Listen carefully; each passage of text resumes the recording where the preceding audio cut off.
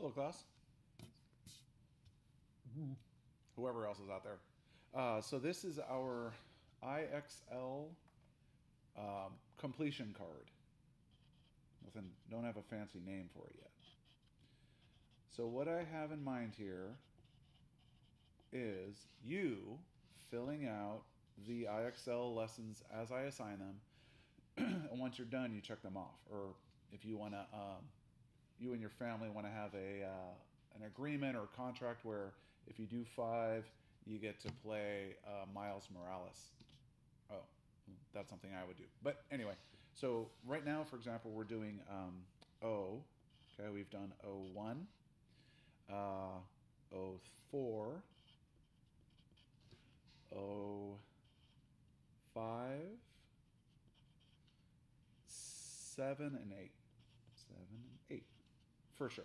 Now, O, these are all, O is a, um, O equals fraction, equivalence, and ordering. And that's not like you order fractions like, I'll have one half of a pizza. Um, although that would be kind of cool. Uh, ordering means putting them in order. So you have the smallest fraction first, middle fraction, largest fraction. Um, and then equivalence is, well, we'll get into that. So O1, fractions review. So this was a code YPL, and that was uh, just fractions review. You can abbreviate also. Okay. And uh, so if, if you spend, I don't know, 15 minutes on it, okay, 15 minutes is great. Um, how about this one? The next one is uh, 04 was UX6, and that is uh, identify, identify mixed numbers. Next up is 05, which was uh, uh, HYC, and that is uh, equivalent fractions area model. Equiv, and I'm a big fan of abbreviation, even though I have all this space. Equivalent fractions um, using area models. Because I like to save, I'd rather abbreviate and save space for what's really important. And area models for 05 is what's most important.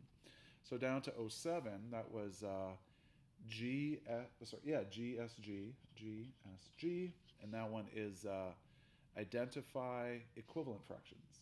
So identify equivalent fractions. And these all build on each other. Uh, you'll notice I skipped 02 and 3. Those are word problems. 06 was a, a number line. We are gonna we're gonna come back and fill this up. Um, but for now, this is, is what we're doing. Um, what's the next code for 8? 8 is 7CY. And that is uh, equivalent fractions, and it's, um, so I'm just going to put EQ, right, equivalent fractions. And I'm going to put uh, missing numerator or denominator. Missing numerator. Ooh, I wonder if this will fit. Probably not. Or denominator. If you can fit denominator, go for it. So those are the five. Uh, those are the five main fractions um, content area so far.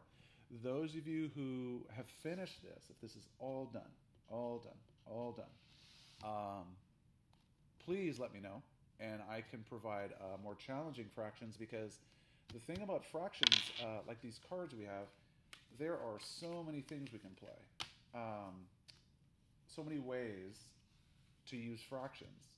Like a, si- a simple um, activity for this, relatively simple, would be uh, two thirds is equivalent to what, right? So then you do two thirds equals four double six triple six ninths um, quadruple eight um, twelfths, right? Or it could be more difficult. I could do two thirds I could I could tell someone multiply that. What's two thirds times four? Right? Because 2 times 4 is 8. 8 thirds, and that's uh, 2 and 2 thirds. And, or I could say, what's 2 thirds of, uh, I don't know, tw- uh, something interesting, 36. Right? So this right here, that's sixth grade. Uh, this one, two, this is probably fifth grade. So those of you for whom, like if this, if this is where you're at, if that's what you want to focus on, great. I, I will get you ready for fifth grade. Nah. Uh, if you're if this makes sense to you and you want a challenge, I'm up for that too. So just you gotta let me know.